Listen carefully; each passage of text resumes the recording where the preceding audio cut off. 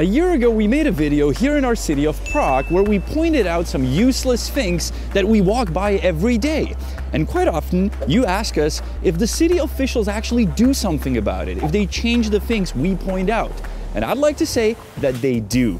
So just a year ago, we pointed out this toilet, this public toilet that is here on the most luxurious street there is in Prague. There's all these fancy stores, and we pointed out that it's not working and that it hasn't been working for years. Well, somebody saw it in the city and they said, well, we better solve that. And they did. They put up a sign that it's closed. And now if you're thinking like, well, that's an ugly little sign, shouldn't there be like a nice printed sign? Yeah, there was one like a couple months ago. It was saying, not working. But then probably someone stole that sign, so they put up this one. But you know what? Problem solved. The YouTubers can rant about it all they want, but we solved the problem. And this video is full of these little glitches in the matrix that we call the city of Prague. Víš se nejzbytečnější věc v celé Praze? Tenhle autobus, který veze jenom tu průvodkyni. A neveze žádný lidi. Proč tady jezdí?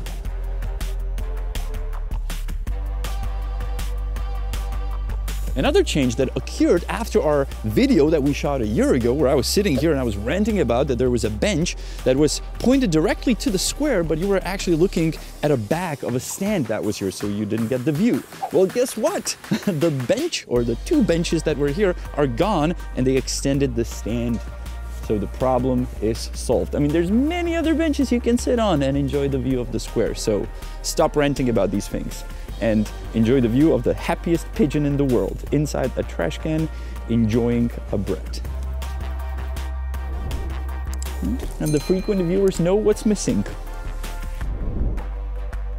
This right here is one of the busiest streets in Prague. Let me be more specific, the busiest crosswalk.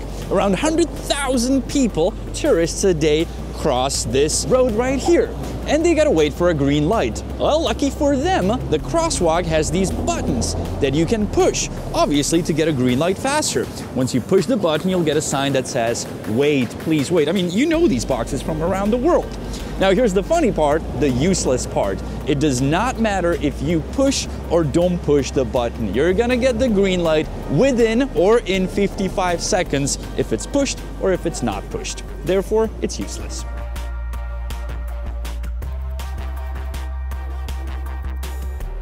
This highly professional experiment in terms of the time was obviously executed with an official uh, Prague stopwatch, just to be clear.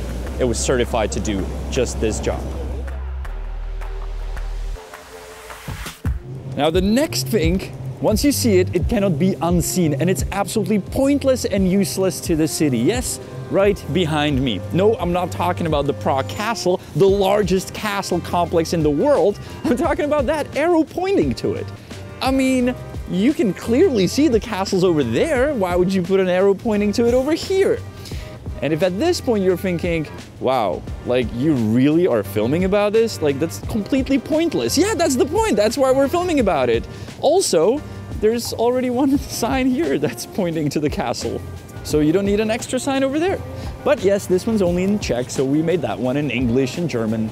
But still, if you're a tourist from France, you're gonna have no idea where the castle is.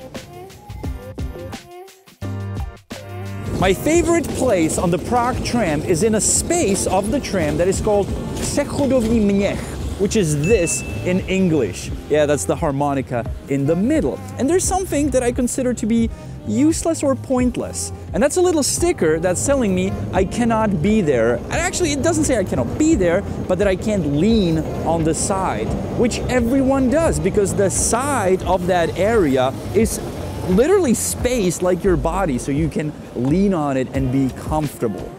Now, I believe that the future designers of these trams, because the city is about to order new trams, will design this area better so they don't have to put up stickers forbidding you from doing something, but they can design the area in a way that you can actually enjoy it the way it's supposed to be enjoyed. And that is for my comfort because, you know, I want comfort on these trams.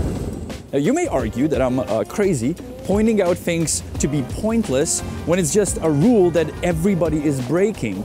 But I think that if everyone, every single person is violating some sort of rule, maybe we should think about it and rethink that rule. Like, for example, uh, the doors in the Prague metro. Everyone is leaning on the door when they enter the metro. They lean on the door, even though on every single door there's a sign do not lean on the door. Can something happen to you? I don't know. I hope not. We have moved underground for another useless, pointless thing. And that is something I go by every day, and I honestly have no idea why it's here. And it's this these city lights, these advertisement spaces, screens. And you may argue and say, wait, come on, they're not useless. They advertise something, right? They're offering you to buy something. Yes, they offer to buy advertisement on these screens. I'm not joking. The advertisement that's running right here, right now, on all of these 12 screens for the past four years is an advertisement for the advertisement. It says, advertisement, our company, buy advertisement here. We will sell your product. But nobody has ever done it. I've seen these TV screens broken before. I've seen like a Windows desktop on it. I saw a guy that would come and fix them. I've saw this animation go over and over and over again, hundreds and thousands of times. I've seen kids staring at the advertisement, I mean, at the animation, go like, oh, that's funny, there's a bird, there's a cat, you know, ha ha ha. But I've never seen, you know, like, buy our car or buy our insurance. I've never seen that. So either whoever is running this never thought of putting some advertisement on it, or just nobody wants this space. But since we now mention it on this channel, maybe some will, someone will be interested so I can stop tweeting about it.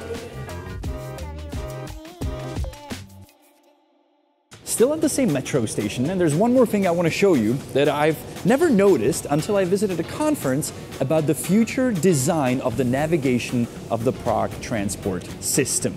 Now, if you see the sign above me, it prohibits you from smoking here which is legit. I mean, there should be a sign that says you shouldn't smoke here, but there's not just one in this small space. There's five huge signs that are telling you do not smoke here. There's also three smaller signs that are telling you do not smoke here, and it's the most dominant information you will get in this area.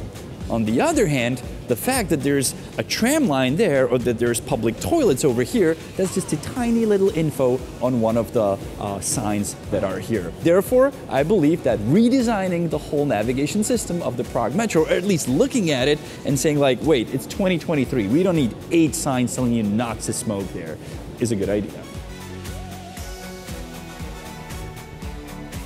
It's good that we know that we can't smoke here, but if you're a tourist, there's no sign like where to buy tickets or that you need one.